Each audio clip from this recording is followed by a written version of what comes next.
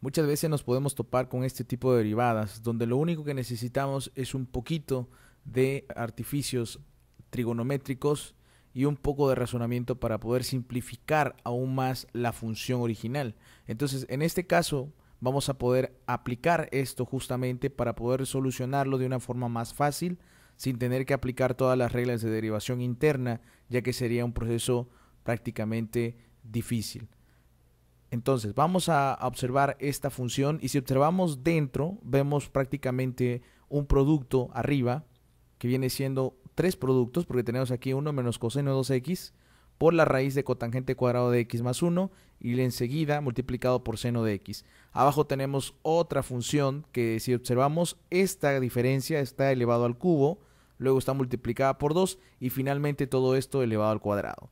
Ahora, para poder resolver esto, lo más fácil sería observar las identidades que podemos encontrarnos aquí y una de ellas la podemos retomar de esta raíz que tenemos acá. O sea, tenemos a cotangente cuadrada, cotangente cuadrada de x más 1 y todo esto con la raíz. ¿Ya?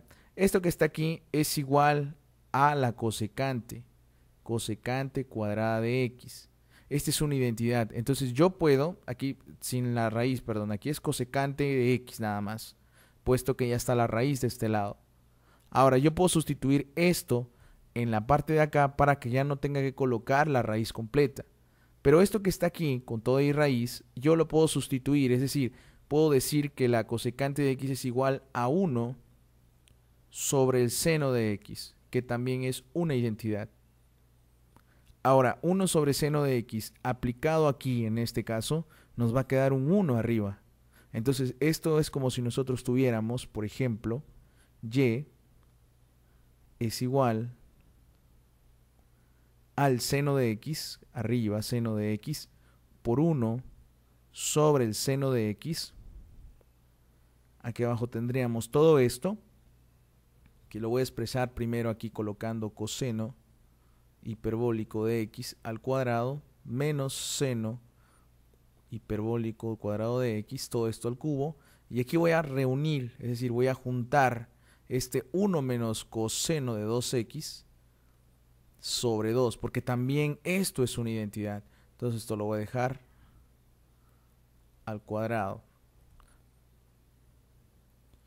Y lo que tenemos aquí. Ahora, si ya vemos que esto va teniendo forma, lo más fácil es seguir reduciendo y decir, bueno, seno de x entre seno de x, esto me va a dar 1. Y si yo identifico que este coseno cuadrado hiperbólico de x menos el seno cuadrado hiperbólico de x, esto que está aquí también es 1. Y al cubo nos sigue dando 1. Ahora, aquí tenemos 1 menos coseno de 2x sobre 2. Esto nos va a dar el seno cuadrado de x y todo esto elevado al cuadrado. Y todavía no he derivado, simplemente estoy reduciendo. Ahora, el seno cuadrado de x por 1, lógicamente esto nos va a dar el seno cuadrado de x y todo esto elevado al cuadrado. Ahora sí, esto que está acá es prácticamente todo esto que teníamos al inicio. Entonces, si yo quiero derivar, proceder a derivar, lo primero que haría sería entonces y' se aplica la derivada de esto que viene siendo una u a la n, entonces esto nos daría 2 por el seno de cuadrado de x. Y esto nos va a dar prácticamente aquí por la derivada del seno cuadrado de x. Y la derivada del seno cuadrado de x viene siendo también una u a la n, que sería 2 por el seno de x, que disminuye en 1 este 2 que estaba acá. Y luego se le deriva el seno de x, que viene siendo coseno de x. Esto que está acá. ¿Ya? Entonces aquí no hace falta que yo le ponga esto de derivada porque ya lo estoy derivando directamente. Entonces y' vendría siendo 2 seno cuadrado de x por 2 seno de x coseno de x. Tal como lo tenemos aquí en el ejemplo. Esto que está aquí yo lo puedo dejar expresado como 2 seno cuadrado de x. Y aquí esto que está aquí también es una identidad que lo podemos expresar como seno doble de x y esto vendría siendo la derivada final de este ejercicio.